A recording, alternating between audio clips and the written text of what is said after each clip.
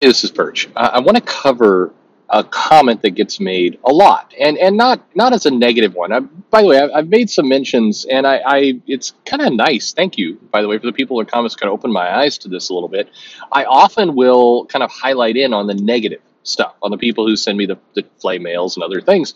But you know, the people are absolutely right. It's one out of a thousand. It's very few people. Um, it I, I I can't. I would not begin to say some of the things other people have said. I'm not being harassed. Uh, I'm not being, you know, bombed. Um, you know, even when I've shown up on some other channels, uh, or that my name has rather, and the guy who's uh, doing this other channels is trashing me t- completely. Um, in some cases, with followers way more than what I have, I don't see a big blowback. I, I don't see much. The, the positives outweigh the negatives, and that's true. And and it's not worth giving oxygen to the negatives so often. There's always going to be somebody nuts. There's always going to be somebody who misinterprets things. Um, you know, and you, I don't want to become like the person who has to cover every single base of every single thing. I make mistakes. Case in point, I did the uh, epic video, and I, I have I have no excuse. I have no idea what I was thinking. Um, Moebius, an amazing artist, uh, has died. Uh, has has has actually passed away some time ago. And I made some mention. I, I, was thinking, oh, I must have meant this that his work is still available, which is true. But no, I, I, I just said, oh yeah, he's still doing stuff. Like I don't know why I said that. I have no excuse. I don't know what was going through my head. Uh, too busy, I guess. I don't know. Uh, but this comment gets made, and it's not. It's a negative comment, but it's not a negative comment applied at me or, or even other posters. It's an idea people have, and it basically goes like this: we need to burn the comic industry down. The comic industry needs to burn, and then it can be rebuilt from the ashes. And I don't agree with that sentiment, and I, it comes out a lot, uh, you know, a decent amount in many different places. And I'll explain why. Now, for, for one, I just want to acknowledge kind of the, you know, the elephant in the room. People are often speaking metaphorically. They don't actually mean burn it down. They don't actually mean it all has to just stop and halt and then everything collapses, bankruptcy everywhere. They're they're talking more metaphorically, like we need to just let you know the destructive habits burn themselves out, and then focus on building something positive. It's, that's generally what people mean. Very few people actually mean the whole comic industry has to die and everybody has to lose their jobs and everything has to quit and we start again.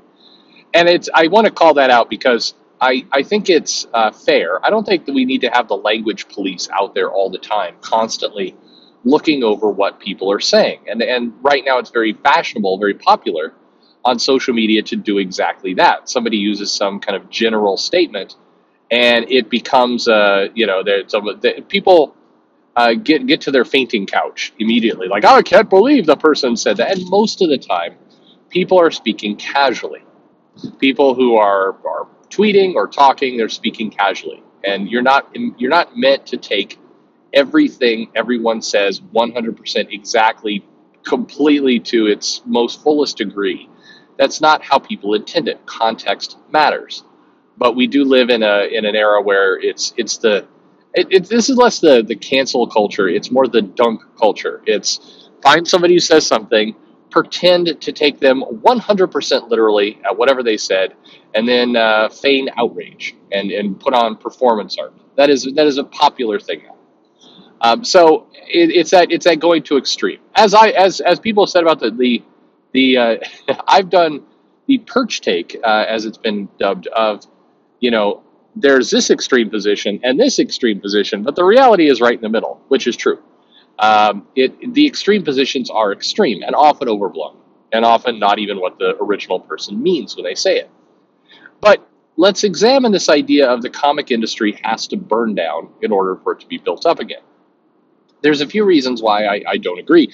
The biggest of which is that if you take a historical look at the comic industry, you take a look at the different eras, the different decades, the different companies, what you will see is that when change happens, when the, the time has come for change to occur, it tends to happen very quickly. It's one of the odd parts about comics but this isn't unique to comics. In many industries, you will see sudden changes uh, followed by long periods of sustainment.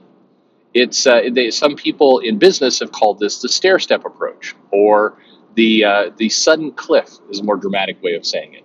I like stair step a little bit better because I visually, as a visual thinker, it identifies kind of what happens. There's there's a big leap of change, and then there is a lot of stability, and a lot of just doing the same thing and kind of keeping the wheels on and kind of settling in with this new status quo. And then there's a big change again. Um, the other part that I like about is if you think about if you think about the stair step kind of philosophy of how this works, it's not always stairs going up or going down. Sometimes there's traumatic events or big changes that wind up putting things in a worse spot or a better spot. So sometimes you're going up, sometimes you're going down. This is what comics, like many businesses, are like. Uh, and it, it's particularly, I'd say, egregious to comics because, unlike other businesses, if you talk to people in the investment community, if you talk to people within tech, uh, again, pharmaceuticals, these other places, they know this. This is common. You talk to anyone in product marketing or in sales or in any kind of VC or venture capitalist, uh, uh, venture capital company, anything like that, you will you will hear this term. People look for it. They look for these trends in industries, and they tend to invest or adopt during this period. It's when acquisitions get made. Everybody knows it. But in comics, for whatever insane reason, people refuse to accept that this is a thing. That the and but but history shows us it is. There's there's undeniable proof if you just look backwards that this exact same phenomenon happens. And, but yet people will say something about it, like uh, Mark Mark Millar, Mark Millar, um, says says this. He said it on on social media a few times, kind of this, this speculation that this is what happens. And the funny thing is, he's not making crazy predictions. He's really just accurately citing the past. That's that's what he's doing, and it's uh, it's it's absurd to argue with that. But people line up to do it, telling him he's an idiot. No, this is the way it's always going to be, and why is he talking in such dramatic ways? It's just weird because it, it's it's like it, it is to me. It always comes across as people denying that the Earth is flat.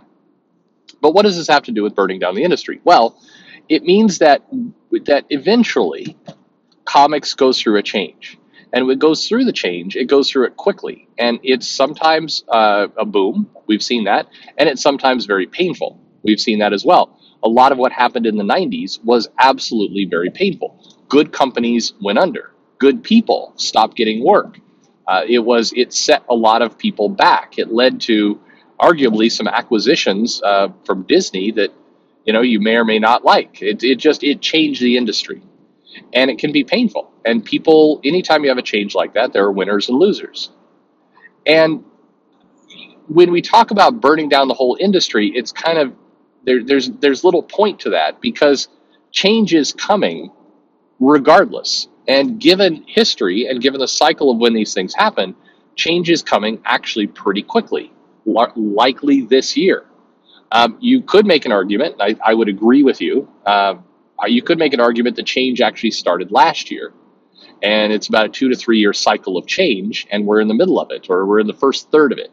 I think there's a lot of proof that that is the case. So we talk about everything needs to explode. It's it's meaningless because you don't need everything to explode. It's going to change anyway. Um, I think that people who focus too much on we got to blow it all up are people who are potentially, if I was uh, if I was talking to you like a, an investor in the stock market, I would tell you, don't miss out on the ride. If you have an idea, if you have funding, if you have uh, some ability of power and control, now is the time to jump in and do something about it. Because this during change, a lot of people are going to be caught unaware. There's going to be a lot of shuffling. Find your ground. You you should be doing one of two things: either you know disrupting the industry is being disrupted right now. Be a disruptor, come in with some money, come with some ideas, start making some noise, work hard, or find your bedrock, get really stable, find something extremely secure that you think is going to outlast this change and hold on for dear life. And really, the advice goes, and this is the same advice you give people who invest it's do you have the money wherewithal to take some risks? Then now is the time to take the risks. It's the best best moment to potentially get a big return. Or if you don't have the money, the, the ability to take some risks, hunker down. You know, move your money into safer things and and stabilize.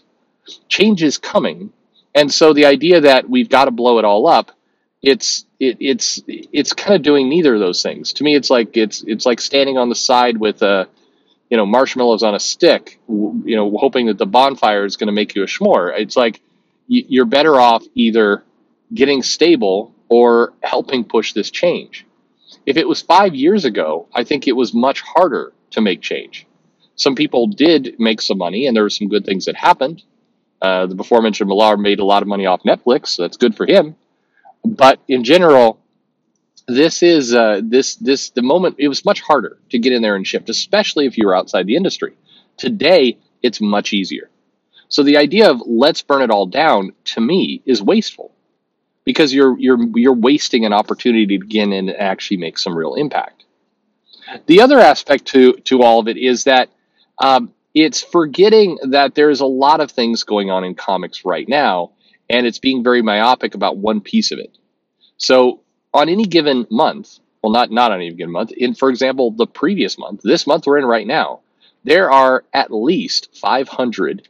That's 500 printed comics going out a month. That does not include all of the web content. It doesn't include the digital distribution. It doesn't include uh, people doing crowdfunding. There is a massive amount of comics based content going out right now as we speak. Given all of that content, the idea that it's all going to implode or everything is going to burn down is just silly. That, that it, it becomes a it becomes a very a silly statement at that point because it's not taking into effect the scope. If what you mean is Marvel sucks, I hate it, and you um, it needs to go away, that's a different statement, and you're welcome to it, and you can root for that. And you can do whatever you want. But Marvel is is not the comic industry. So I, I think again the, the, the whole the whole statement irks me because it it kind of it ignores the current reality of what's going on in comics. It ignores how change happens and I also, you know, it, it just seems needlessly like like silly. It's it's kind of like when um, you know people go on TV and then say, you know, this this election could be the entire. It, it could it could spell the ruin of our entire democracy with this one city council election. It's like okay, you're being a little bit a little bit hyperbolic there. You just it's being a little extreme. And like I said, people who say this don't don't really mean exactly what they say. Uh, they're exaggerating a bit, and it's that's fine. Turn a phrase, it's it's all good. Um, I I do think you know, and and I, I'm going to do a predictions video here in a moment, but um, I do think we are in, like I said, we're in that first third of some pretty massive change, and I think it's going to be really rough for some people. In particular, I think it's going to be rough for people who uh, maybe got into this this this industry too quickly or too easily. And what I mean by that is it, there are people who are hired for, I don't know, not great substantive reasons, not hired for sales, or they were hired because they were a friend of a friend and they're trying to do somebody a favor, and nobody came around to kind of help help explain what was going on in the industry. Or the other big factor is you have somebody who isn't really worth the check. They've been handed, and there's suddenly going to be a massive correction in rates with some people and if you were given an inflated salary that does not really equate to how much you bring in, that's going to be a, a, a, rough road as ahead.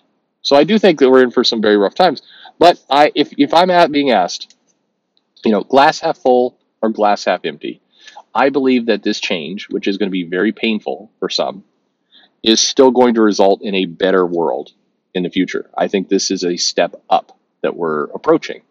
And I think we're going to say by 2025, I think we're going to look back at things and say, wow, we, uh, we, we made some real advancements there and things are in a better shape. I do believe that's going to be the end outcome. But not everybody is going to have that great experience. And that's that's uh, that's unfortunate, but that's also what progress looks like. Anyway, burn the industry down.